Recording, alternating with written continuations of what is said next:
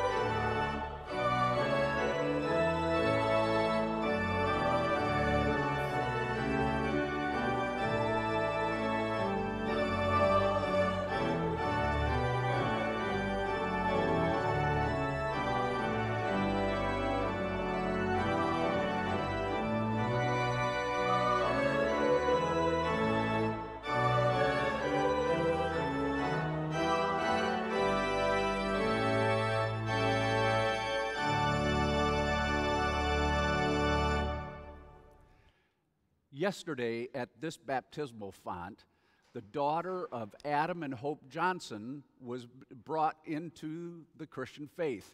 Her name was Ju- is June Finley. And so, uh, as would be the practice, I would announce to all of you that the kingdom of God continues to grow, and the newest member of the kingdom yesterday at 11:30 was June Finley. So, would you all please join me in saying, Welcome, June Finley, to the family of God? The name of our great God, great and gracious God, was put on June yesterday in the name of the Father, Son, and Holy Spirit. Each day we're invited to put that name on us as we begin our day and as we begin our worship. And so we do that now in the name of the Father and of the Son and of the Holy Spirit. Amen. The Lord be with you. Let us pray. Lord God, Heavenly Father, since we cannot stand before you relying on anything we have done, Help us trust in your abiding grace and live according to your word. Through Jesus Christ, your Son, our Lord, who lives and reigns with you in the Holy Spirit, one God now and forever. Amen.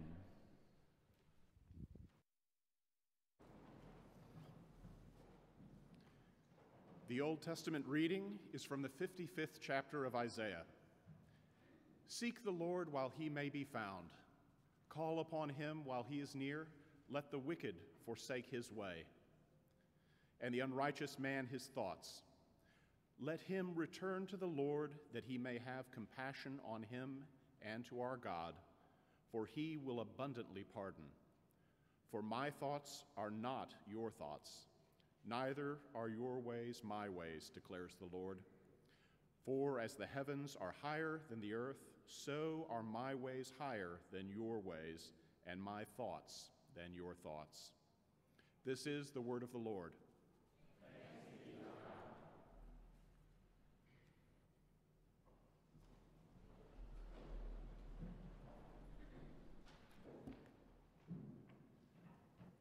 The Holy Gospel according to St. Matthew, the 19th and 20th chapters. Then Peter said in reply to Jesus, See, we have left everything and followed you. What then will we have? Jesus said to them, Truly I say to you, in the new world, when the Son of Man will sit on his glorious throne, you who have followed me will also sit on twelve thrones judging the 12 tribes of Israel. And everyone who has left houses or brothers or sisters or father or mother or children or lands for my name's sake will receive a hundredfold and will inherit eternal life. But many who are last will be, or many who are first will be last, and the last first. The kingdom of heaven, he said, is like a master of a house who went out early in the morning to hire laborers for his vineyard. And after agreeing with the laborers for a denarius a day, he sent them to his vineyard. And going out about the third hour, he saw others standing idle in the marketplace and said to them, You go into the vineyard too, and whatever is right I will give you. So they went. Going out again about the sixth hour, and the ninth hour he did the same. And about the eleventh hour he went out and found others standing. And he said to them, Why do you stand here idle all day? They said to him, Because no one has hired us. He said to them, You go into the vineyard too. And when evening came, the owner of the vineyard said to his foreman, Call the laborers and pay them their wages, beginning with the last up to the first. And when those hired uh, uh, about the eleventh hour came, each of them received a denarius. Now, when those hired first came, they thought they would receive more, but each of them also received a denarius. And on receiving it, they grumbled at the masters, saying, These last worked only one hour, and you have made them equal to us, who have been borne the burden of the day and the scorching heat. But he replied to them, Friend, I'm doing you no wrong. Did you not agree to work for a denarius? Take what belongs to you and go. I choose to give to the last workers as I give to you. Am I not allowed to do what I want to do, to, to do with what belongs to me? Or do you begrudge my generosity? So the last will be first, and the first last. This is the gospel of the Lord.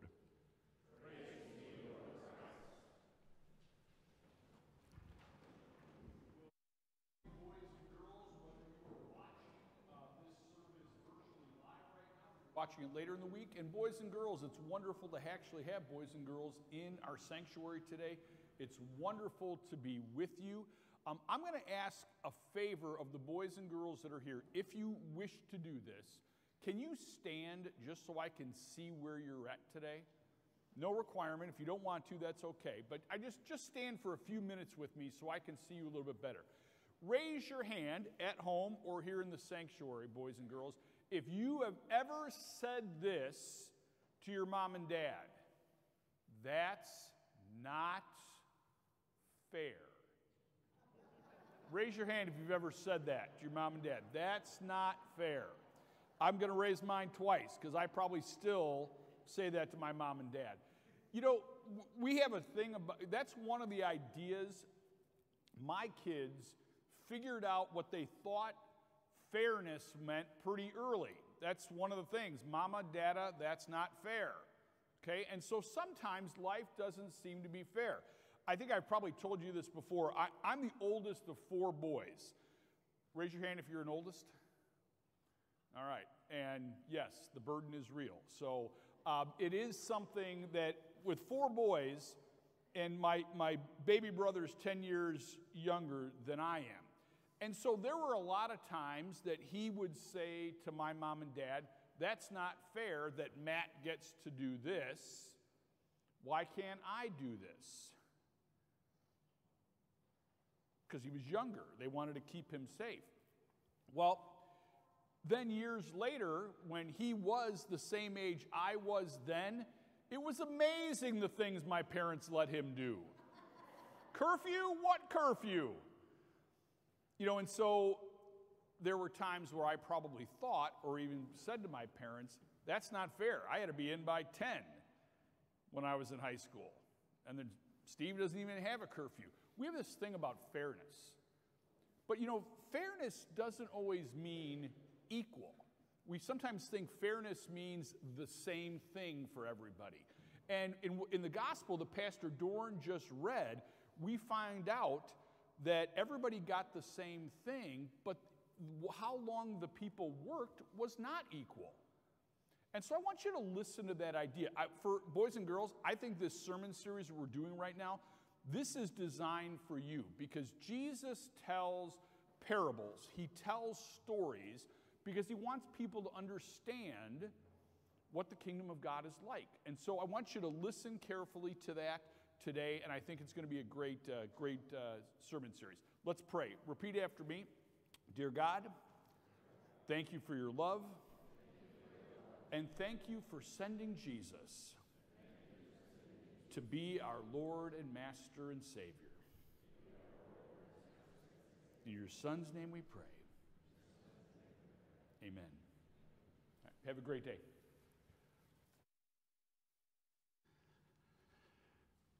Grace, mercy, and peace be unto you from God our Father and our Lord and Savior Jesus Christ. Amen.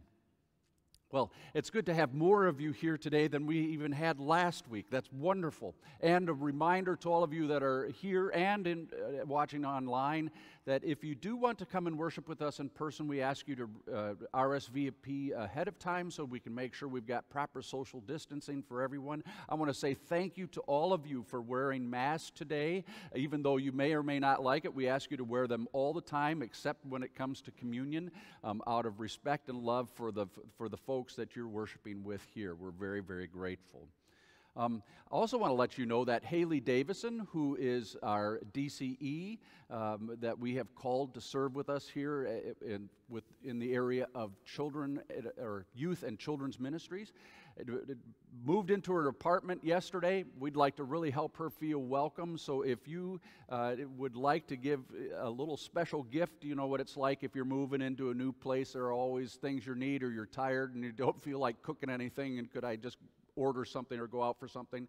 If you'd like to give her a little gift to help her feel welcome, uh, you, I didn't, you're welcome to do that, and uh, uh, you can just uh, send her a little gift or send it here, and we'll make sure that she gets that. Um, today, we're beginning a sermon series that uh, uh, looking at the parables that Jesus told that are recorded in the Gospel of Matthew. And um, I, I'm looking forward to this series. And I was always told that the definition of a parable is an earthly story with a heavenly meaning, but I like the tag that we've got with, with this series that, uh, that says parables, small stories, big ideas. Because Jesus' parables really help us to think not only about who our great God is, but how we are to be as his people. So today is the parable of the workers in the vineyard. And spoiler alert, it's not about grapes, it's about grace. So uh, let me give you the context of this parable uh, as, as we go forward. And the context is this a rich young man had come up to Jesus and, and asked him uh, what he must do, what good things he must do to enter eternal life. The dialogue recorded in Matthew 19 is very interesting. As Jesus tries to help this man to understand there is no good thing you can do to earn eternal life, Jesus was trying to help him to see that he alone, Jesus, is the Savior, and that through him is the only way that this man would have eternal life. Well, the fellow was all caught up in his wealth, and, um, uh, uh, and Matthew tells us he, the rich young man went away sad from Jesus because he had great possessions.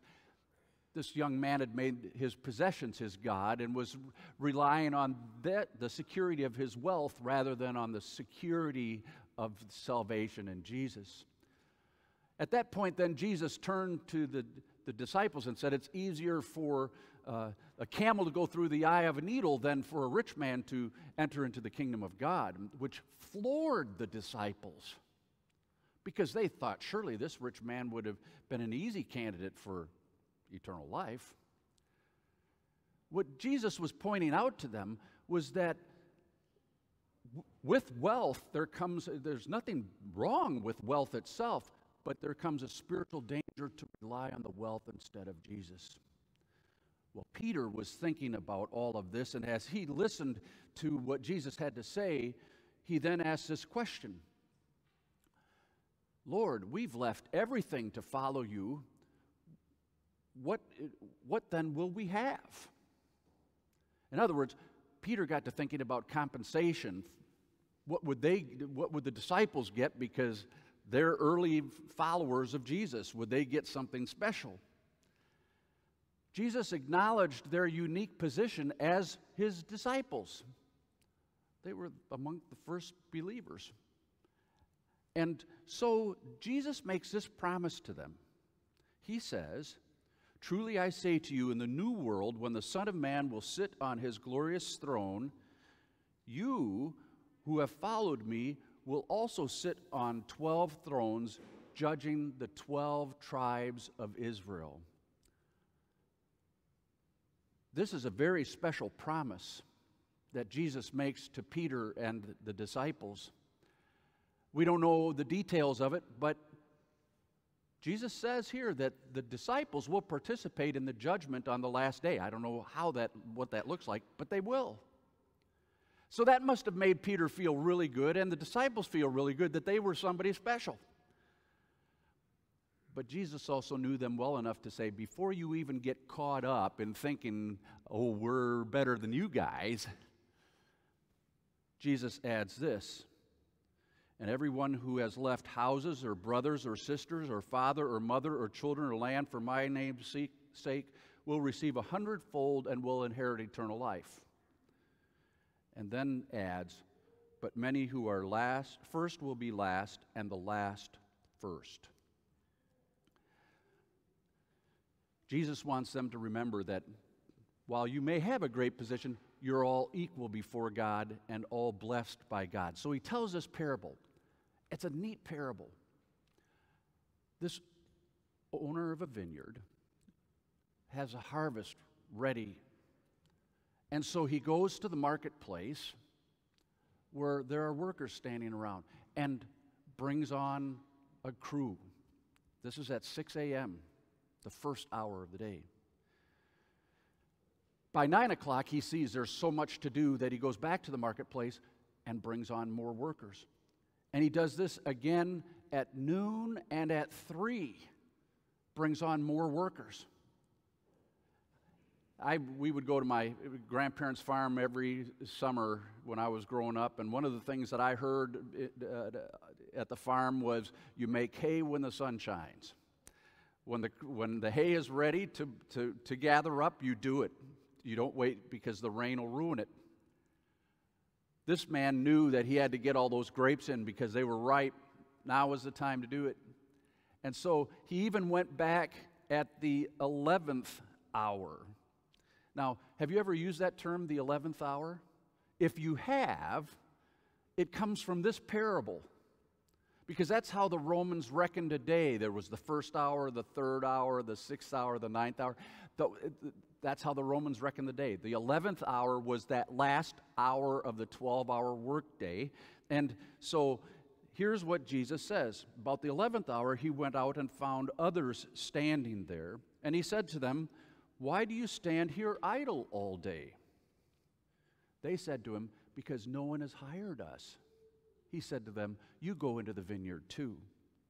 Now, I want to point out a few things at this point about this parable. First of all, Jesus is not here uh, saying that these guys were lazy. They wanted to go to work. They've been waiting, hoping that they could work.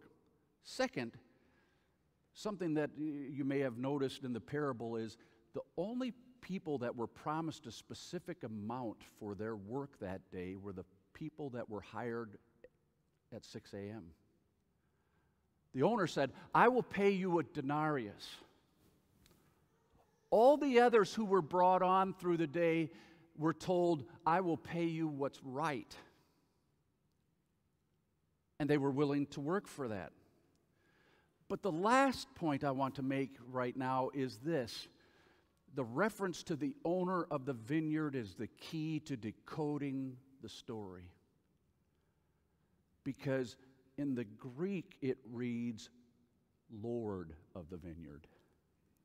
The owner is the Lord of the vineyard. And that's a reference directly back to Jesus. So, at the end of the day,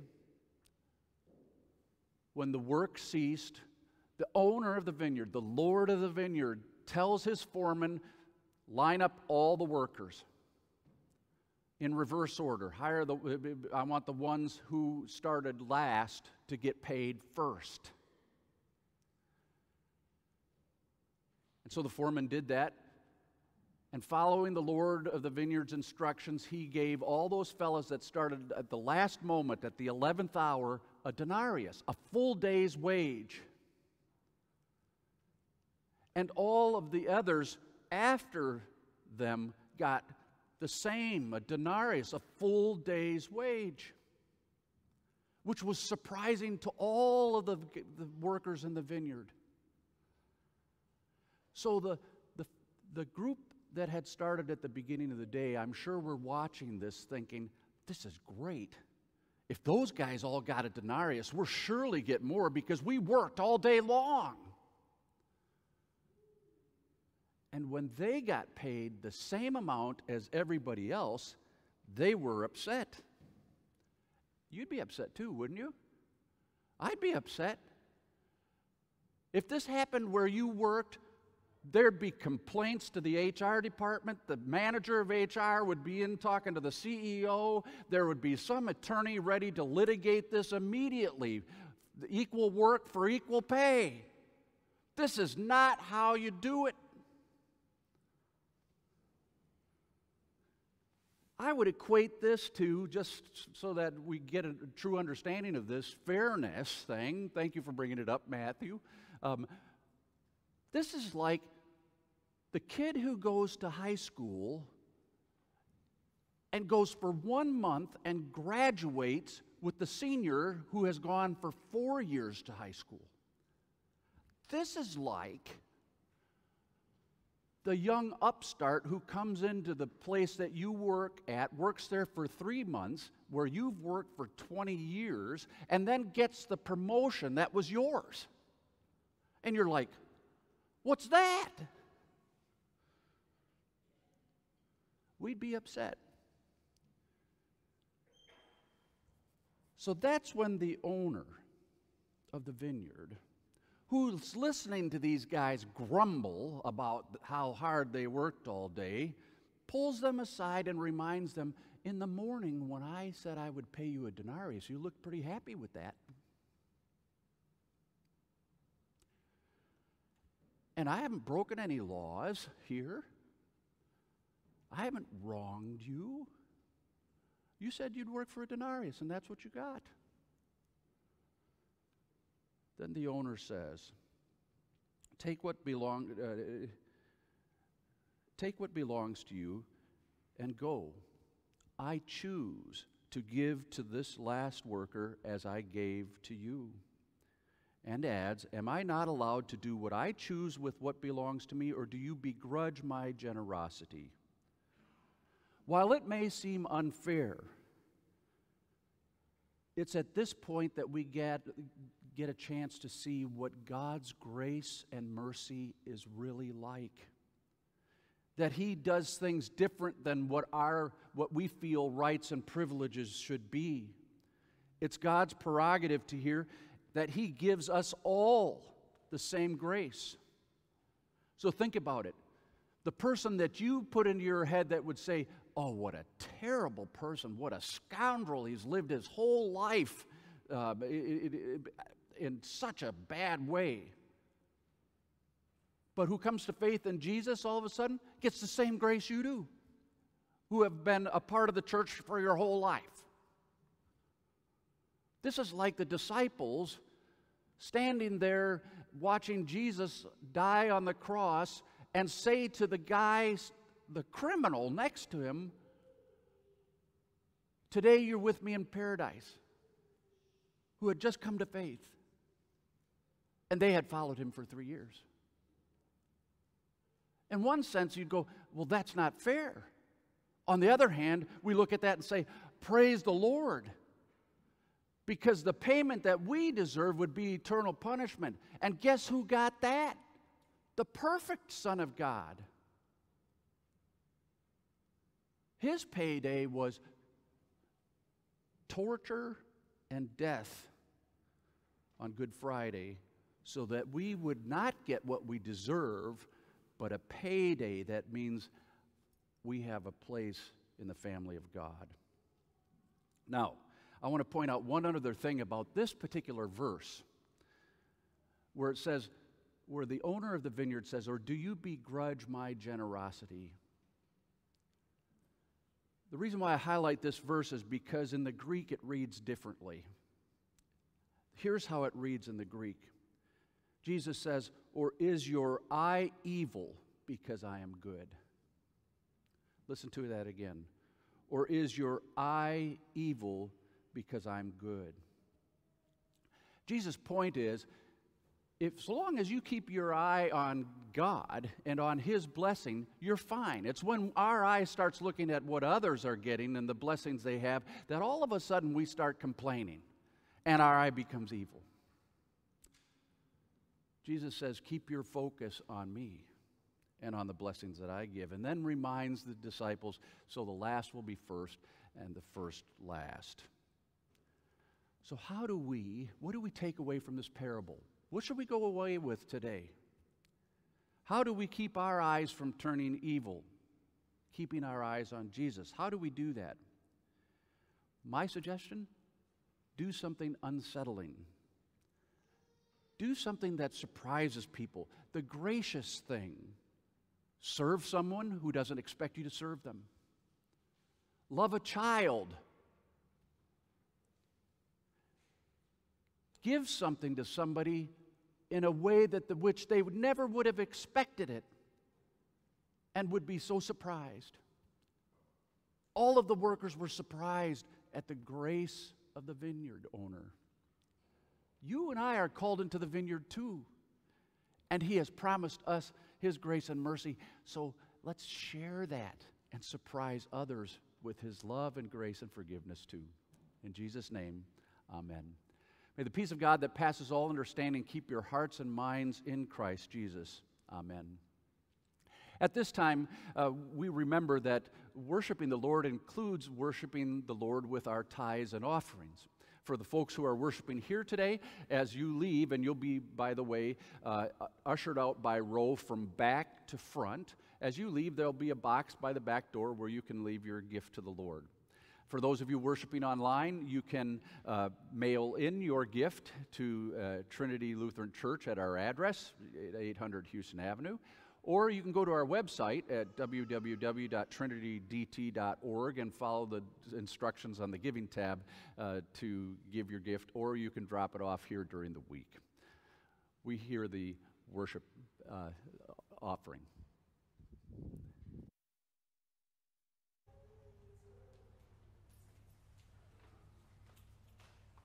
Stand for prayer.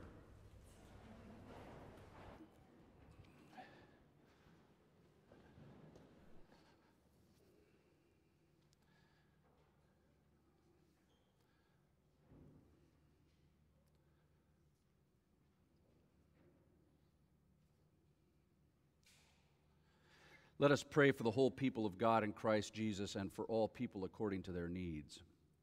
Gracious Lord, who calls us to work in your vineyard, keep our eyes focused on your blessing and strengthen us so that we may use the time, abilities, and resources you so generously provide to bring many to saving faith. Lord, in your mercy. Gracious Lord, we thank and praise you for the sacrifice made at the cross of Calvary to pay for our sins and secure our salvation. Open the eyes and ears of those who do not yet know the wonderful blessing of forgiveness, life, and eternal life. Through your word and the witness of those who work in your vineyard, may they become partakers of your generous grace. Lord, in your mercy. Gracious Lord, as storms approach our coast again, we ask that you would preserve and protect all who are in its path from harm and danger. Watch over first responders who are called up for help. Lord, in your mercy.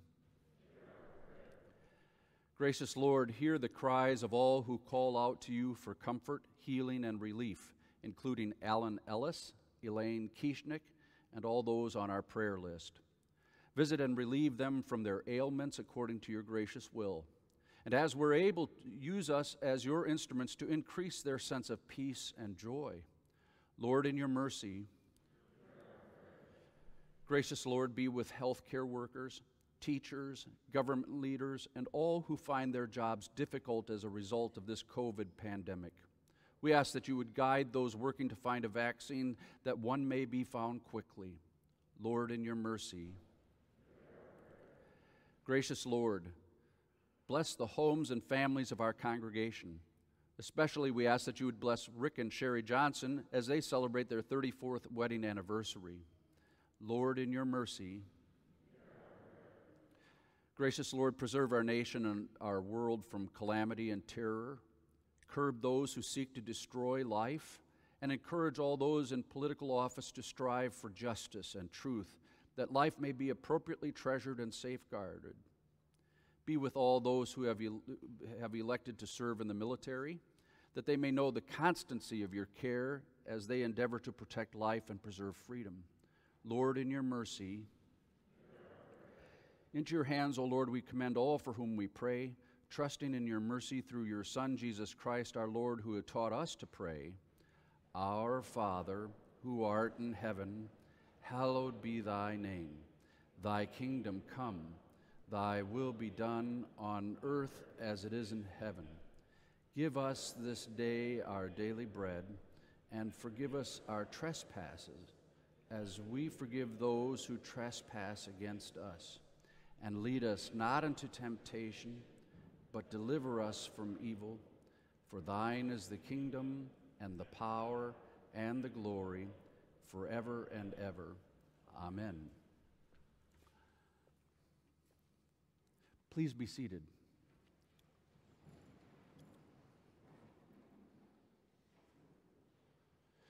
Standing before me today are candidates uh, who will be received today for the first time for communion. They had gone through classes to, to be able to attend First Communion back in February ish time frame.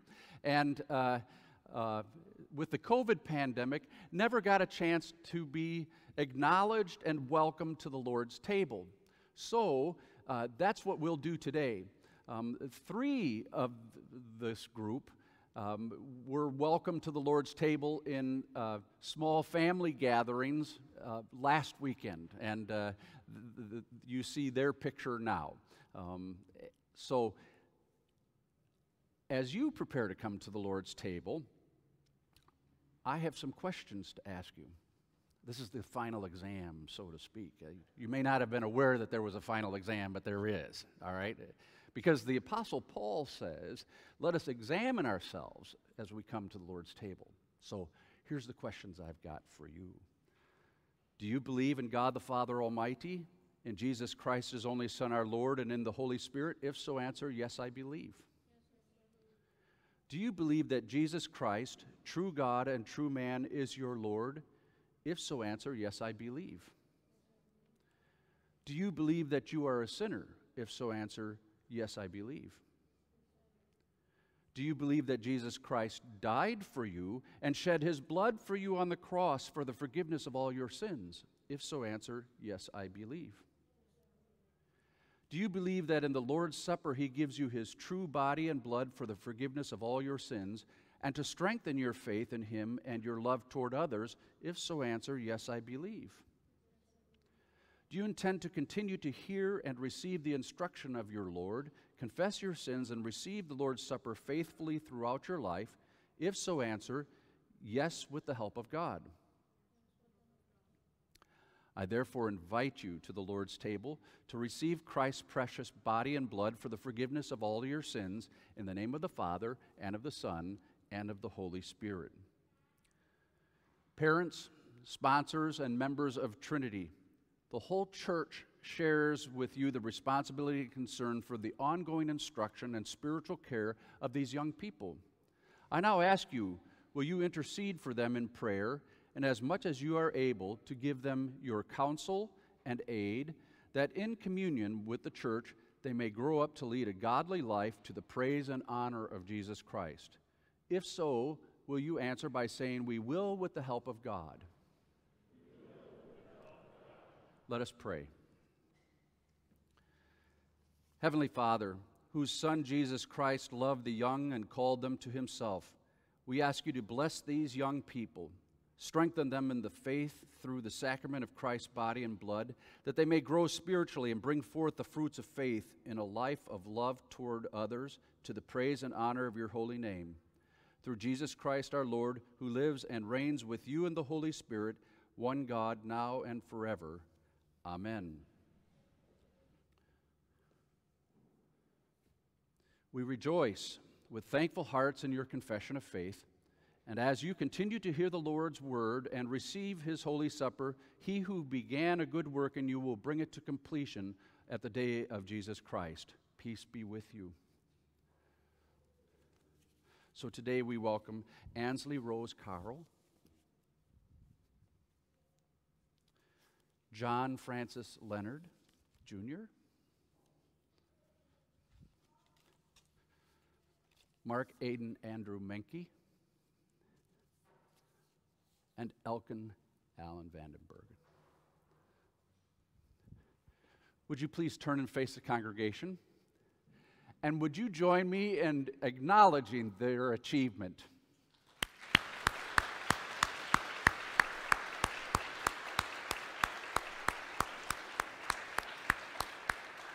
Go in peace, serve the Lord.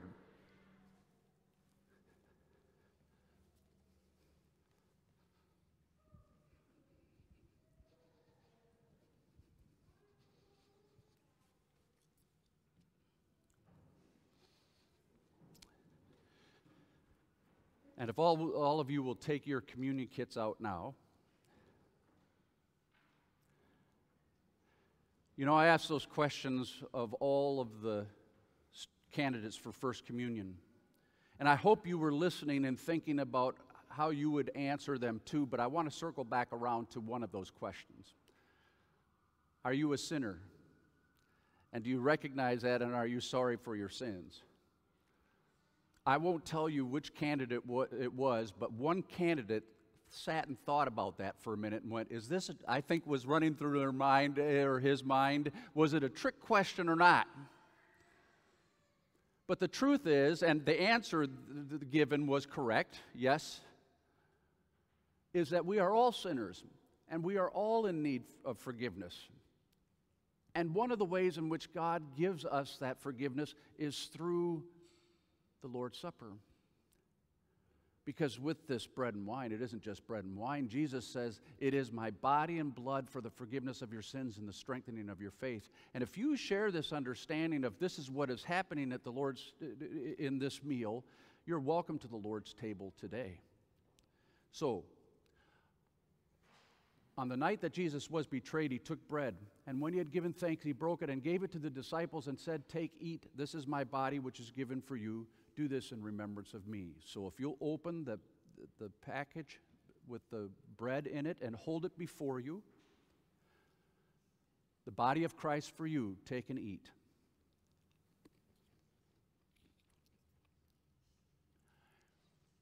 In the same way, also after supper, he took the cup. And when he had given thanks, he gave it to them, saying, Drink of it, all of you. This is my blood of the New Testament, which is shed for you for the forgiveness of sins. This do as often as you drink it in remembrance of me. So now open the portion of your package with the wine and hold it before you. The blood of Christ shed for you, take and drink.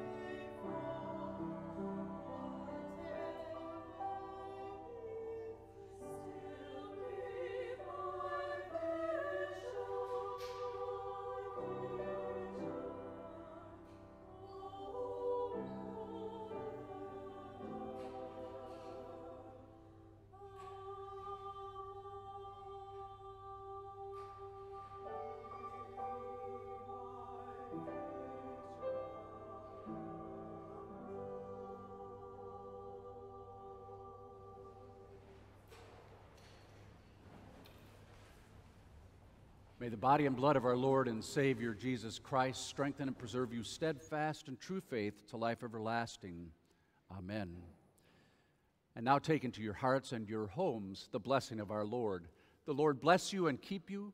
The Lord make his face shine on you and be gracious to you. The Lord look on you with favor and give you peace. Amen.